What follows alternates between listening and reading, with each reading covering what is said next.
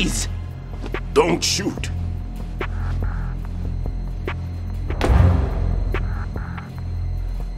You a cop? I'm not NYPD. I came in with the Bravo team. Who are you with? And what happened to SEAL Team 10? They're all dead. All of them? That's bad. Did I tell you you could move? It's all right. He's not one of the bad guys. Don't go pointing that thing everywhere, kid. What's your name? My name is Peter. Peter Stillman. I'm lecturer at NAVSCOLEOD at Indian Head, also a consultant for the NYPD bomb squad. A poor old man who got dragged along for this picnic. I thought you'd retired. I did. Can't keep up with everybody, as you can see. A famous church got wiped off the map thanks to me, with too many lives inside. All I lost was this leg. So you're the bomb disposal guy.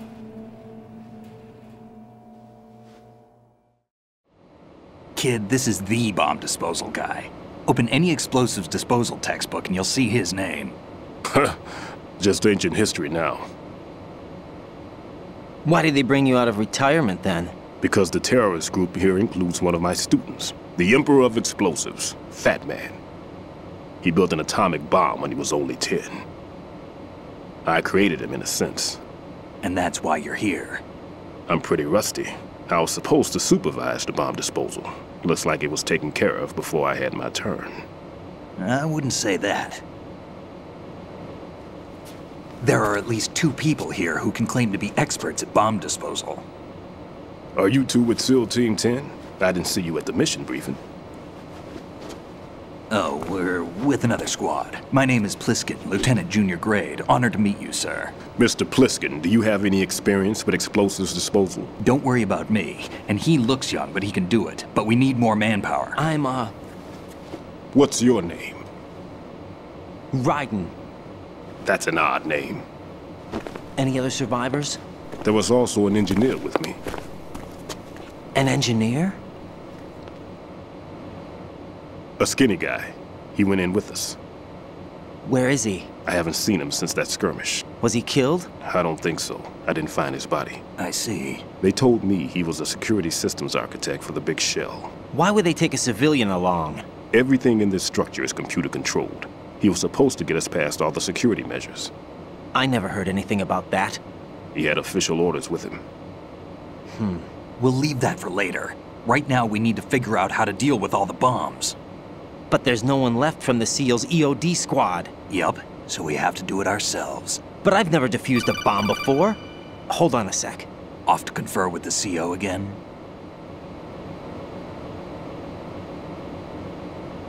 Glad to hear Stillman is safe. Assist him in any way possible to clear the C4 from the structure. Colonel, you know I've never been trained in bomb disposal. It's all right. The man you're working with is the best in the field. All you have to do is follow his directions. You will, of course, keep your identity and mission objectives to yourself.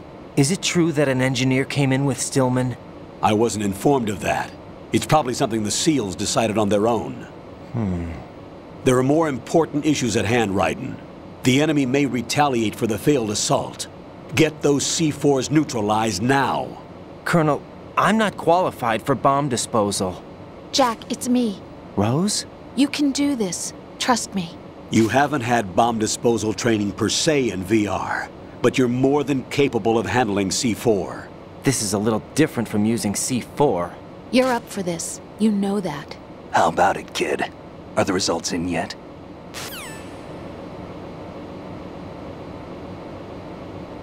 There's no need to think about this so much. You won't actually be dismantling the bomb. That's not for amateurs. What we'll try here instead is a temporary freezing measure. Here, look at this.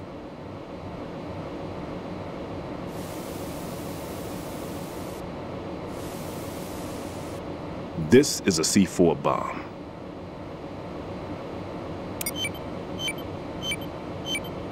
It's live. You can see it pulsing. Now you spray this on the sucker and there we go. Simple, huh? The spray freezes the detonator instantly. How long does the effect last? There's no way the thing can detonate in this condition. Even if you leave it alone, it'll stay out of commission for at least 24 hours. That's enough time.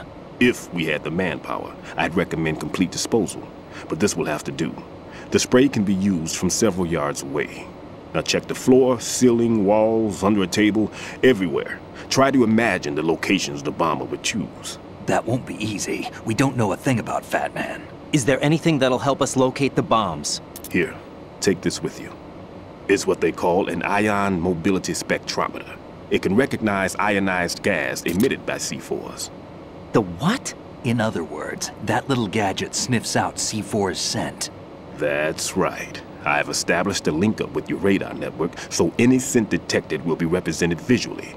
Have the sensor activated and keep your eye on the radar. What if he's using some other odorless substance? I know Fat Man well. I know how into his own aesthetics he is. Signatures? Yes, on every bomb he builds, he always leaves a trace of the cologne he uses.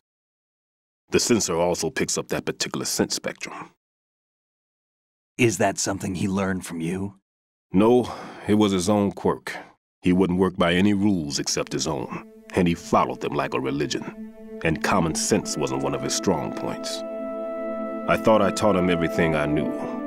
I have no children of my own, and I thought I found a son in him. He had the right stuff, you know. There's something very unusual about an ability like that. Even at Indian Head, he got special treatment. I remember some people called him one of the fat cats. Maybe that's what started all this. I didn't teach him the most important thing I had to tell him. There are some things you have to pass on. The trick is to know which one. Right. All I taught him was skills. And now I have to stop him from using it to destroy us all. Let's see how well that sensor works. All right. I'm activating them. Watch. You see the green stuff on the radar? That's a visual representation of the C4 scent detected by the sensor. It's a pretty big area, isn't it? Don't complain. It's better than nothing. Just activate the sensors and search the area, okay? All right. Don't forget that you need the radar to use this system. Log into the node at every strut and turn the radar on. We have to keep out of the enemy's sight, too. Because the radar gets knocked offline when we're spotted? Exactly. Fat Man would have allotted some C4s here in Strut C as well. Here?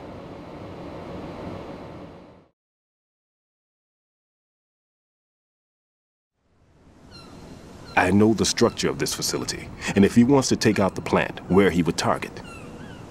You know this for sure? Of course.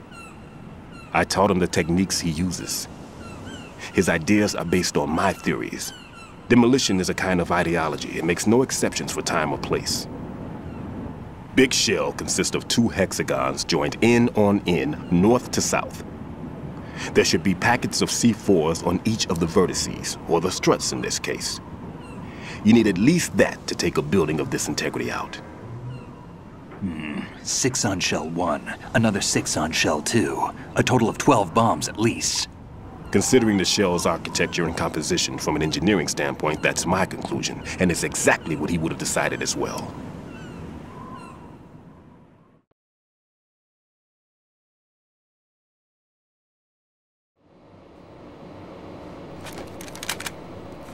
Kid, this place is all yours. I'll take care of shell two. Take this.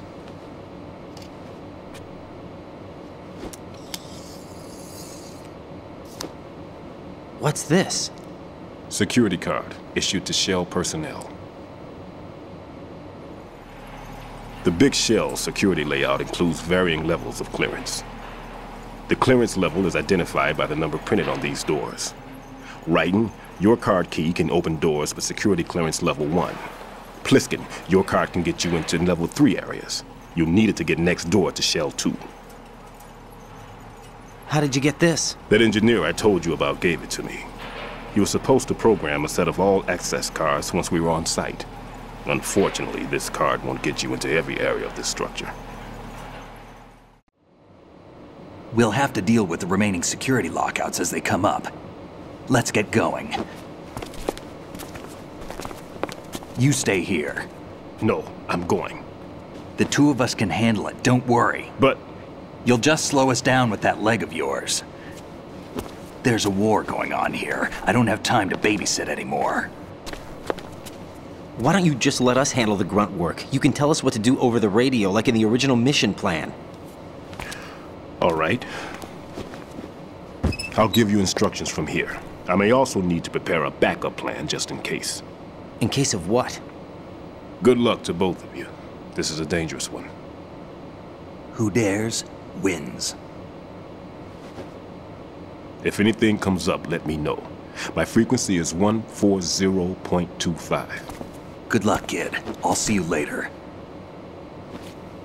Semper Fi. That man's no SEAL.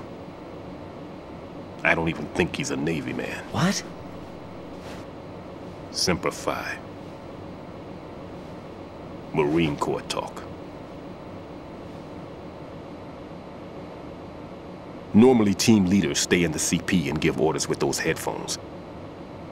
And as far as I know, SEALs keep their officers away from the field. And Who Dares Wins is a model of the British Special Air Service.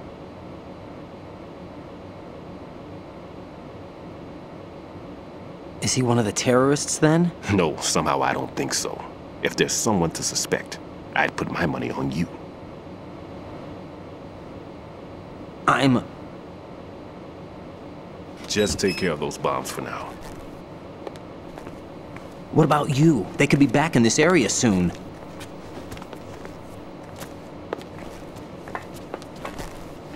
I'll hide out in this pantry for a while. If I lock the door, it should be all right. Plenty of food in here too, so you don't need to worry about me.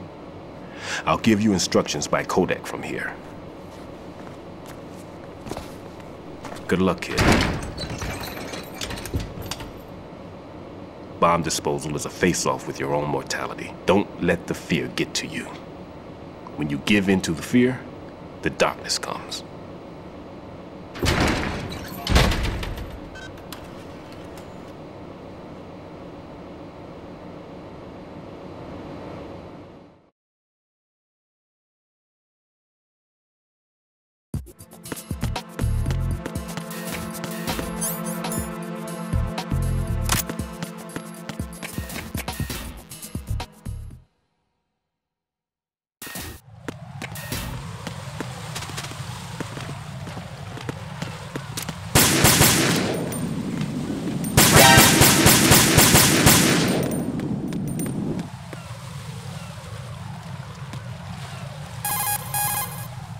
If you see an appro-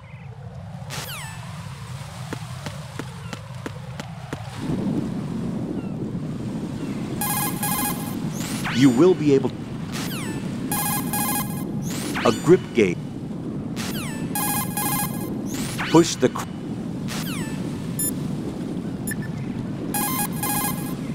That pistol you have is a SOCOM. It's a 45 caliber offensive handgun designed for the American Special Ops Command. With 12 rounds of 45 ACPs, it has outstanding stopping power. The SOCOM has a minimum service life, averaging over 6,000 rounds, and has a 5 round group capacity that extends within a 1.4 inch radius. It's a bit large, but the SOCOM is a gun you can trust. It also comes equipped with a laser aiming module. A suppressor can be attached to the SOCOM to silence gunshots. You should try to find one. Tell me a little more about Dead Cell.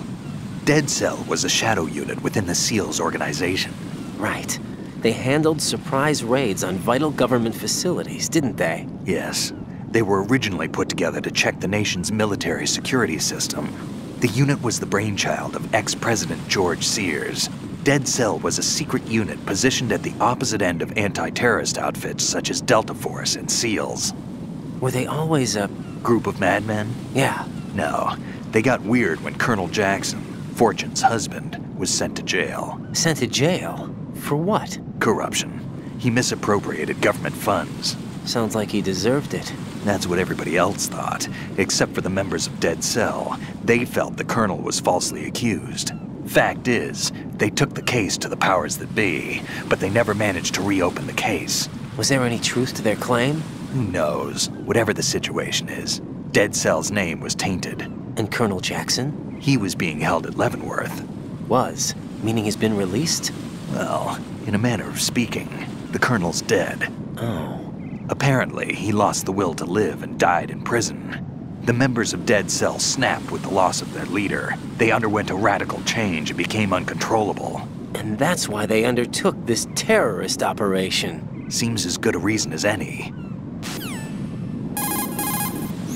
Vamp is a member of Dead Cell.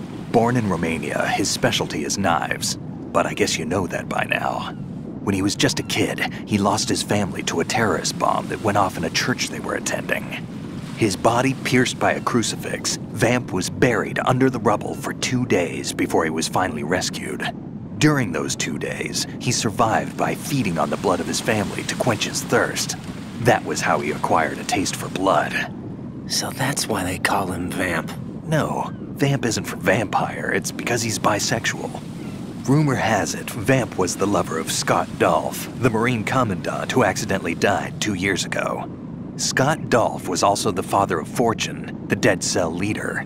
Fortune's old man? But Fortune and Vamp? Uh, you noticed, eh? Not bad for a rookie. All right. As you say, Vamp and Fortune are very close. Not lovers, but very close. Friends? No, there's more to their relationship than that. But Vamp was her father's lover. Would it have been better if it was with her mother? Well, I don't really think they care what you think. Focus on the mission. by the way, have you ever met the guy before? No. But he seemed to know you. Right. Well, I. No. It can't be. What? Nothing. I told you the Dead Cell is a group of madmen. I wouldn't take anything they say very seriously. What do you know about that strange woman? You mean Fortune? She's the Dead Cell leader.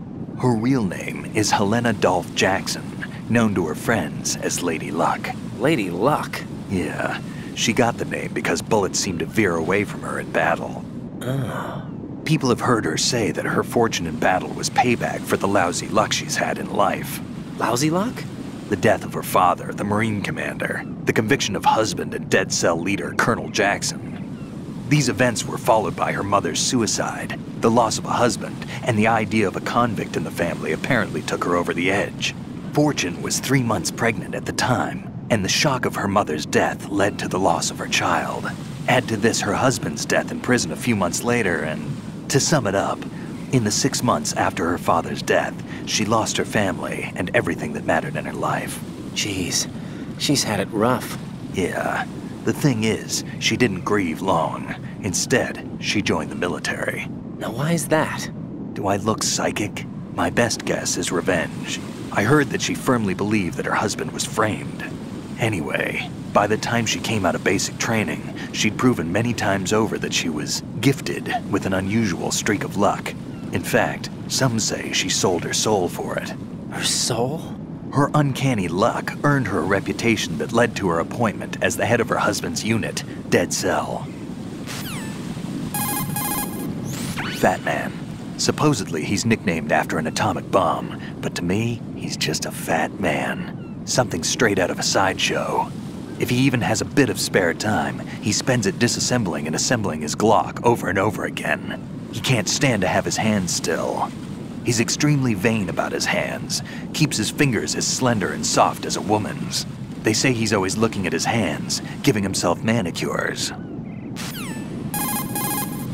Pliskin, I saw someone wearing a cardboard box just now. A box? I don't know anything about that. You sure you weren't imagining things? Of course I'm sure. Do you think it's one of the members of Dead Cell? How should I know? I don't want to fight someone like that. Why not? Because it looks so dumb. Anyone who's willing to be seen like that must be completely insane. I mean, he's a psycho, there's no question about it. Oh. Uh, yeah.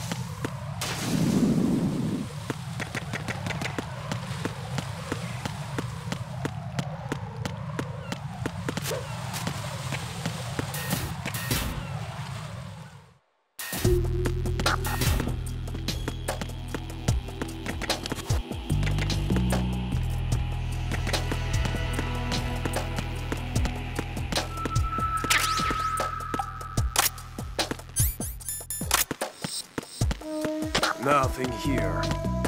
Freeze!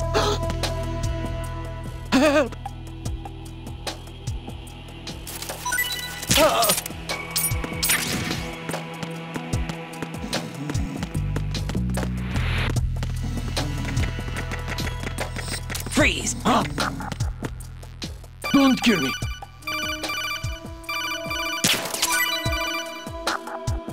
Raiden, at your feet, there's a hatch for pipe or gauge maintenance. Face the hatch and push the action button to open it. There may be something you can use, so check the inside thoroughly. Don't kill me.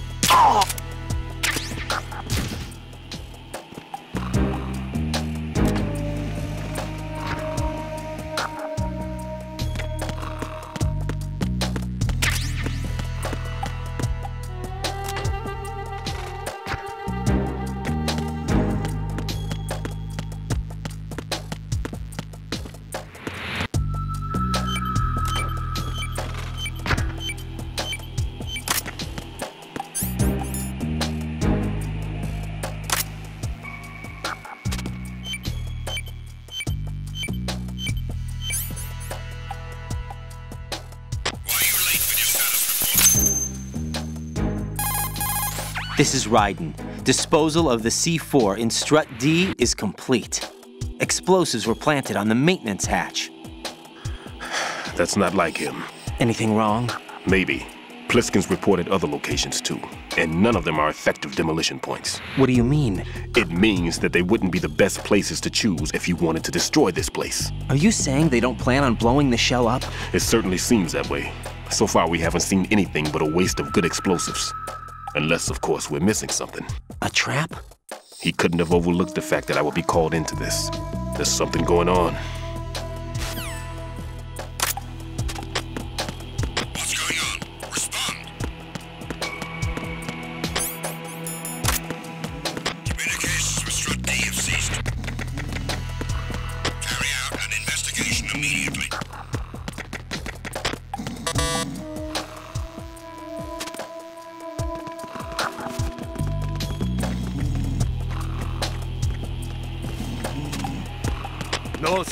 Missing man. Nothing else to report.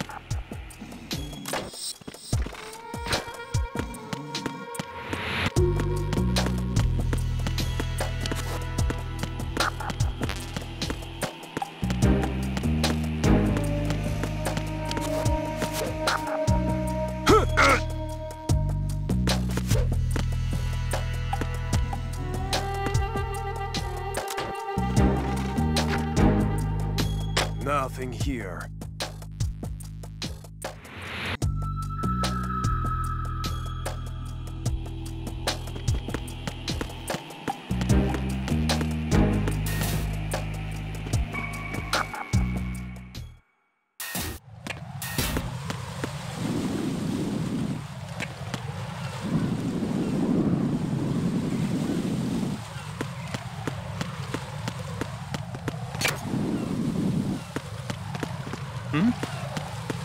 There's somebody there.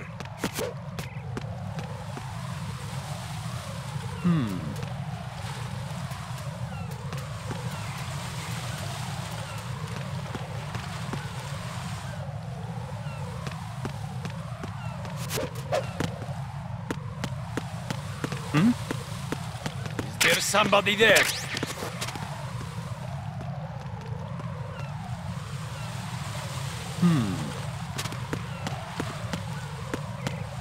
Freeze!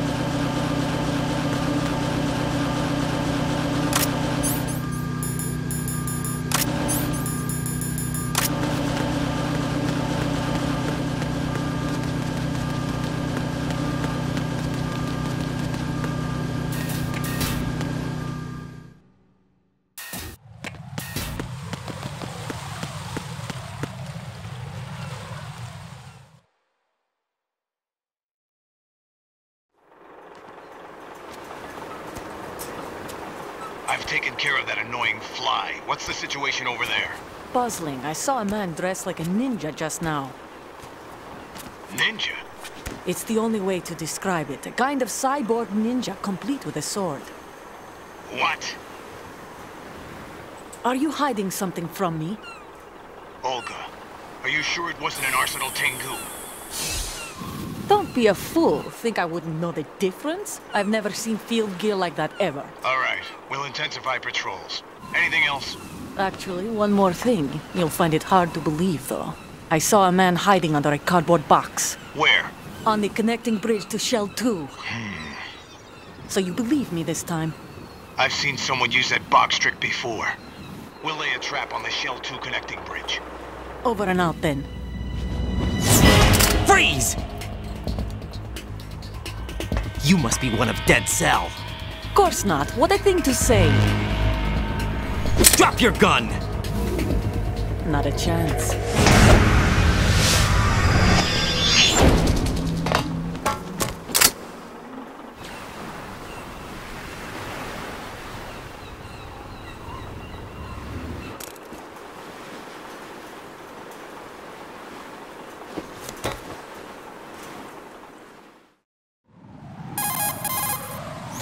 Saw a uh, female soldier. Russian. must be Olga Gerlukovich. How do you know? Unlike you, I've been briefed. She's not a Dead Cell? No, she commands a Russian private army. They must be the ones patrolling the big shell. That's right. She's led the group ever since her old man, Colonel Gerlukovich, died. Watch yourself with her. She's a tough one.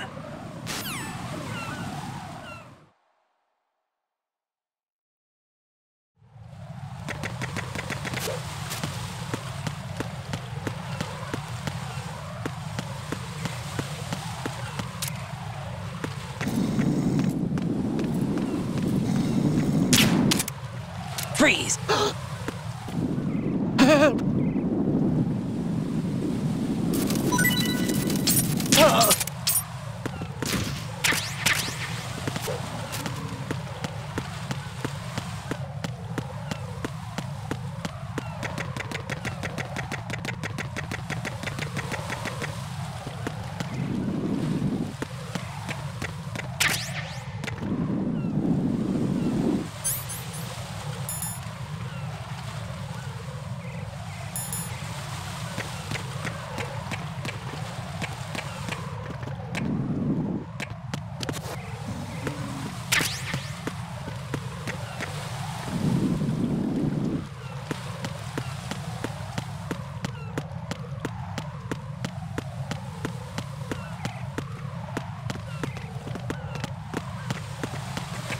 Huh? What are you?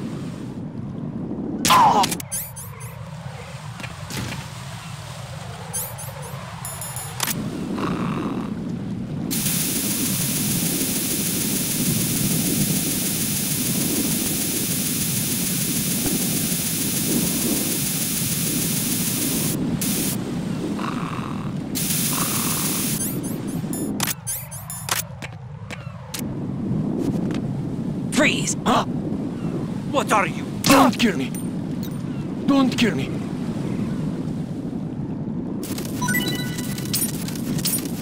Don't kill me! Don't kill me! Ah!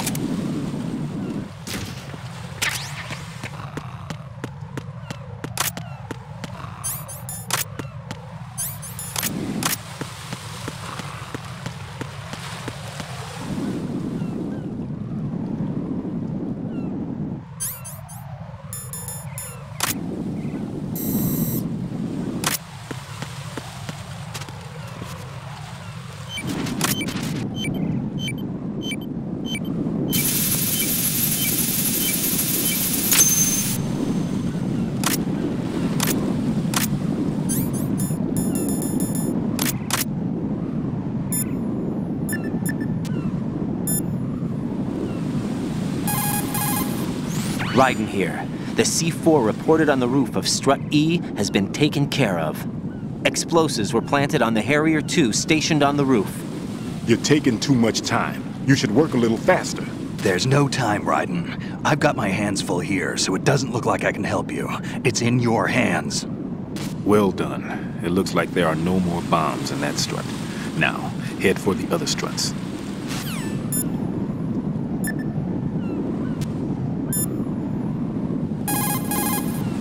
Raiden, I'm done with one more C4. This one was in a spot so narrow, I had to crawl in to get at it.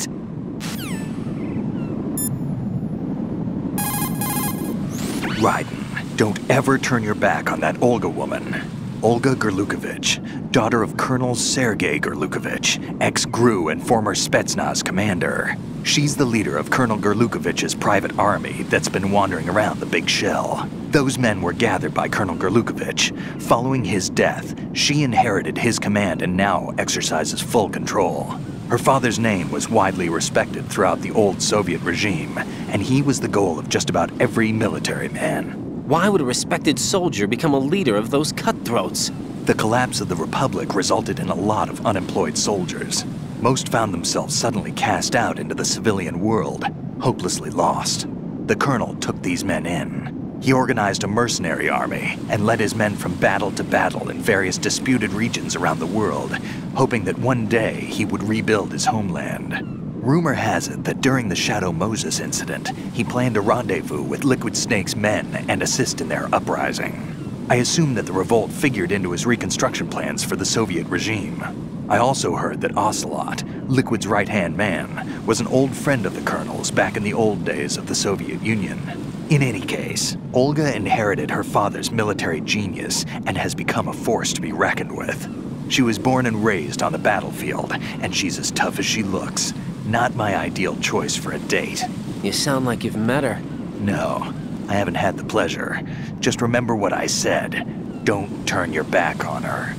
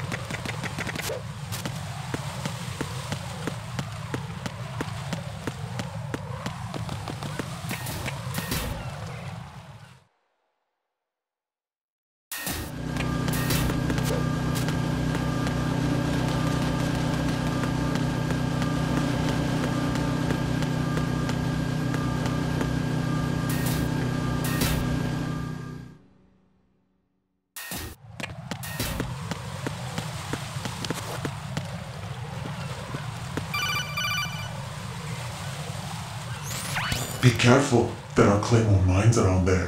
Who is this? Stealth equipped claymore mines, invisible to the naked eye. Use the mine detector. Identify yourself.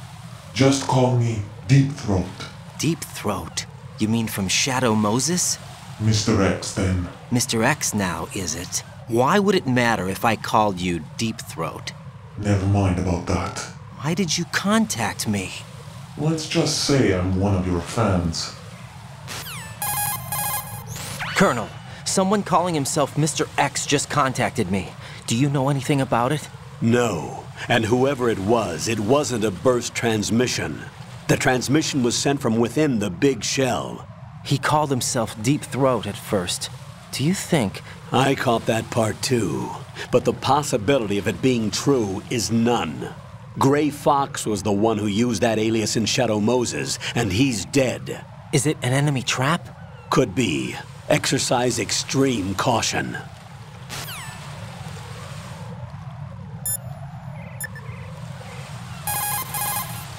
Raiden, don't get yourself worked up. It's safer to take out the enemy first, then look for the bomb. Don't even think about searching for the bomb while looking over your shoulder for the enemy. Knock them unconscious or take them out altogether first.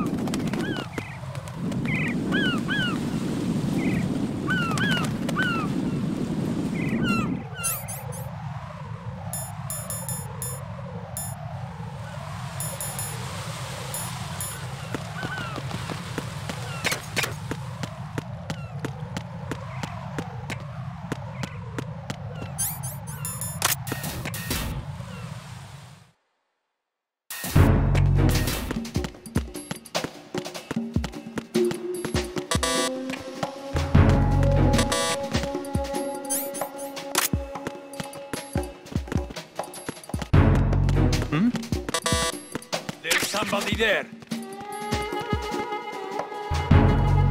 Hmm. Freeze!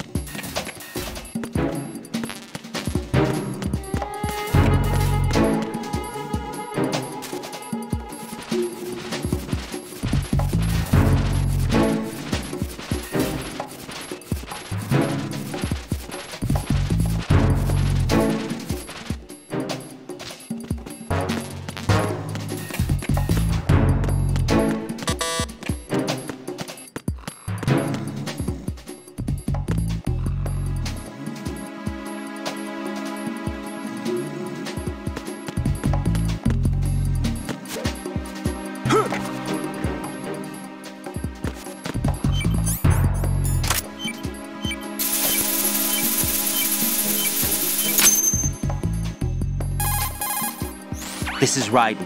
I just finished disposing of the C4 in strut F. Found explosives on B1. This is all wrong. This is something only an amateur would do. What do you mean? All the bombs that have been found so far don't appear to be in the right kind of locations. And the quantity of explosives isn't sufficient either. Even Fat Man can make mistakes, right? No, there's something else going on here. Get a move on with the disposal, Raiden. I've got a bad feeling about this. Do you think it's a trap? I don't know, but I'm gonna tell Pliskin to watch his back too. Just hurry.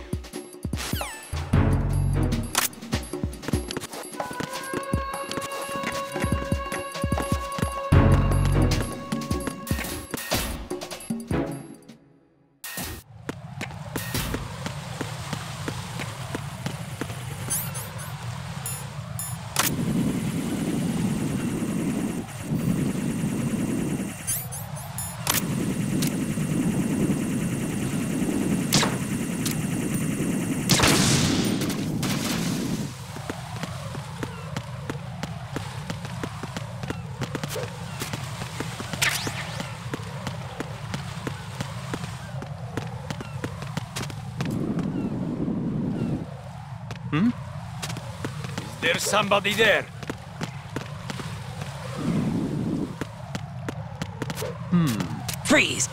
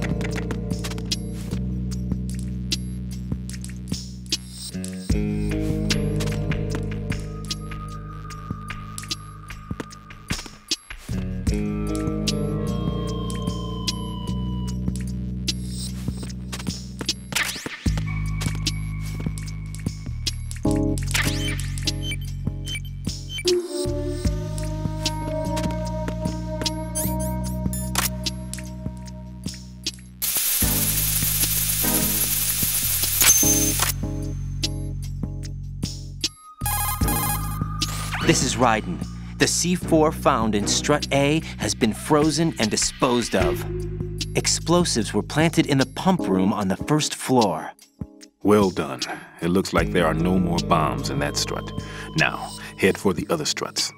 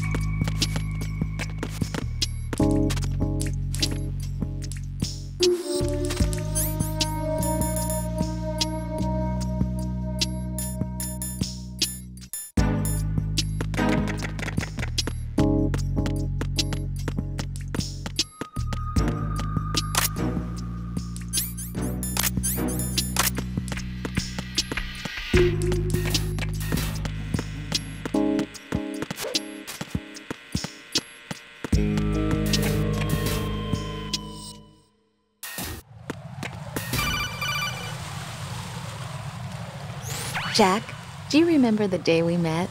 I'm kind of busy right now, Rose. You're right, sorry. I do remember. It was right after I transferred to New York. There are all these tourists around you in front of the Federal Hall. A group of middle aged Japanese ladies came up and asked me which building it was that King Kong was climbing in the movie. I said it was probably the Chrysler building. And then you showed up and started mouthing off. You were like, no, it's the Empire State. I said the Chrysler building was in Godzilla. We started arguing, and I forgot all about the tourists. I was insisting that I was right, and you were doing the same. The next thing we knew, the Japanese women had gone away, and we ended up going to the Skyscraper Museum to see who had the better recall. We argued all the way to Battery Park. And for nothing. since the museum was closed. We went our separate ways from the museum. And then I found you again by coincidence out in the base corridor. An amazing coincidence that we were actually working at the same place. That night we went up to the top of the Empire State. It was so beautiful. I could look down on the Chrysler building from 120 stories above ground. I felt overwhelmed. I didn't care anymore who was right. And that was our first date. We watched King Kong in your apartment a bunch of times that night. Didn't sleep till morning. Hmm. If it weren't for that coincidence, we wouldn't be together. I know. I'm sorry, Jack. I'm taking up your time again. What? Take care.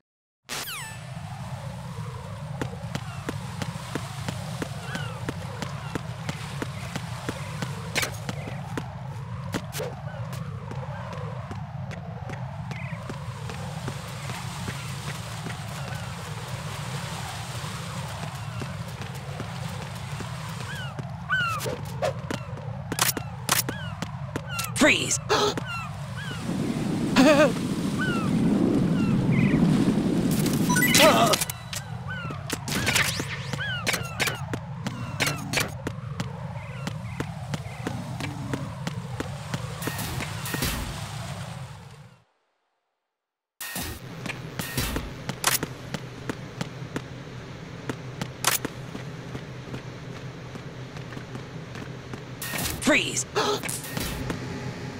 Are you going to shoot me?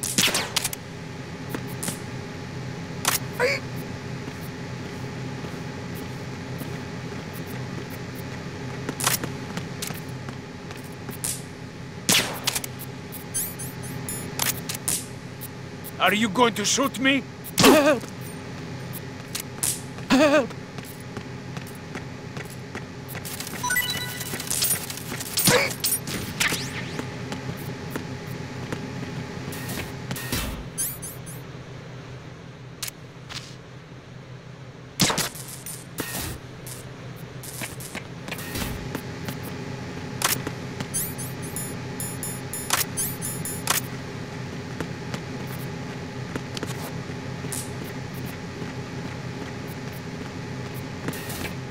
Freeze! Huh? Don't kill me.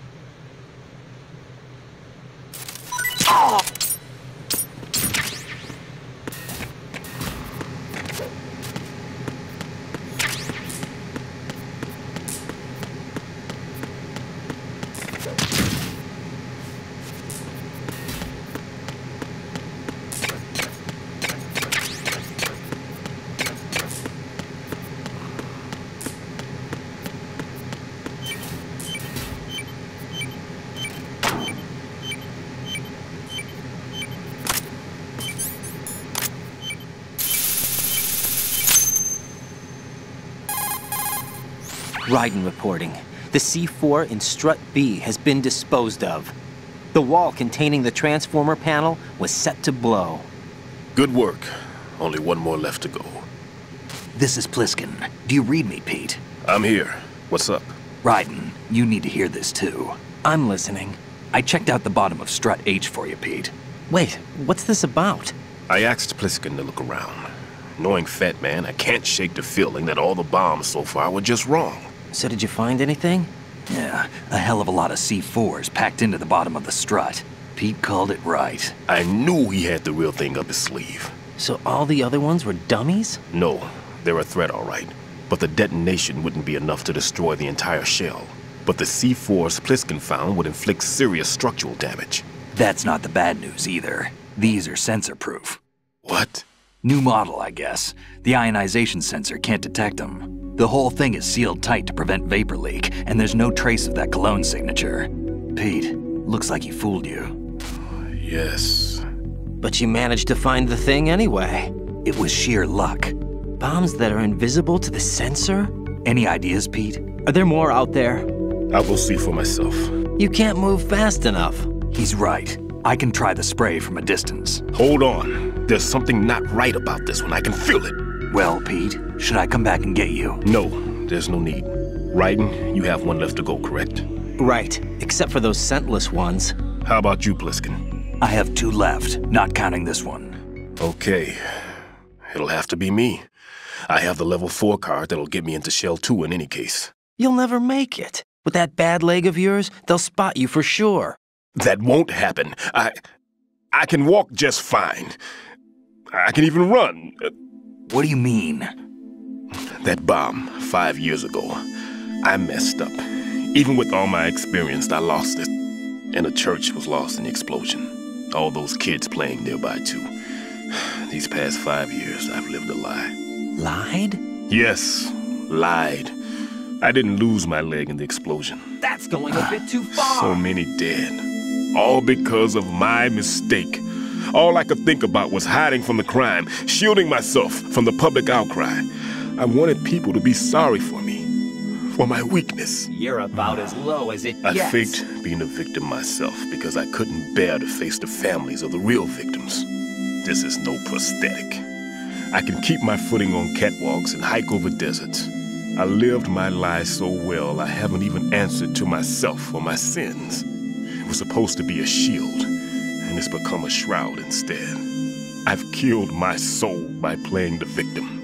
Instead of protecting me, it's made my life even more hellish. What good can that do the victims? I know. I'm a coward. Hey, Pete. God forgive me. I can walk with my own two feet, and I need them to stop Fat Man. His crimes are also mine. One of omission and arrogance. No one should teach the skills I taught him without a clear conscience. This is the only way I can diffuse my own sins. I get you, Pete.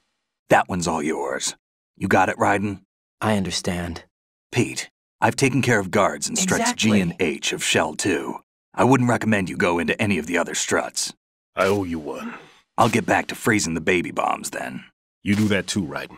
I'm on it. I'll have the radio with me if you need to get in touch. Just don't ask for Peg Leg Peter.